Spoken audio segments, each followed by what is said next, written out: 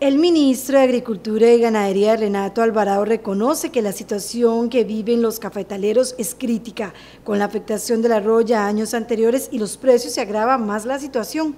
Por ello, considera que con la aprobación en la Asamblea Legislativa de la Ley para la creación del Fondo Nacional de Sostenibilidad Cafetalera, se espera un mayor dinamismo y reactivación de la actividad.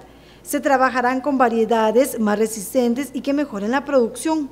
Bueno, la actividad cafetalera, como de todos es sabido, este, está pasando por una situación muy complicada, ¿verdad? Una crisis de, provocada por dos cosas, un factor de reconversión que se planteó en algún momento, se hizo una inversión muy grande, los, los agricultores y los productores se hicieron de un crédito, eso provocó que, que, se endeudaran, vino después el tema del arroyo y las enfermedades, eso causó este, una caída de la producción eh, muy agresiva eh, y ahora pues hay un replanteamiento con el Fonascafé para ver cómo hacemos para digamos, reconvertir el sector con variedades mucho más resistentes a la, a roya, a las enfermedades, que sean mucho más productivas, que ya está mostrando que, que hay una posibilidad de que con las nuevas variedades produzcan casi un 30%, 30 más y ahí hay una, entonces estamos trabajando sobre eso.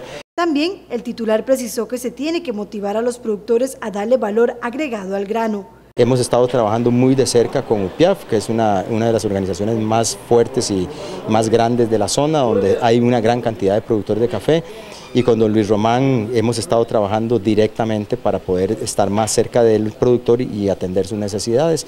Estamos viendo la necesidad de trasladar al, al productor hacia un valor agregado, no podemos seguir este, vendiendo productos eh, como lo hemos estado haciendo ahora, ¿verdad? Nosotros echamos el, saco en el café en un saco y lo vendemos para que alguien más haga el negocio eh, con el tema del valor agregado, con el tema de la tasa, de la buena tasa de los productores, ¿verdad? Entonces la intención es ver cómo nosotros avanzamos con, esa, esa condición del café.